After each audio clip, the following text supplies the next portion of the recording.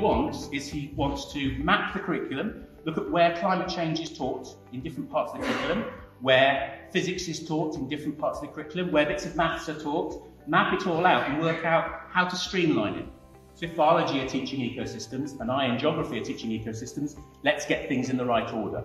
Now that takes leadership from your head teacher. So you need to go and bend the ear of your head teacher and say, you know, how easy would it be for us to work out how to get climate change into English, how to get climate change into history?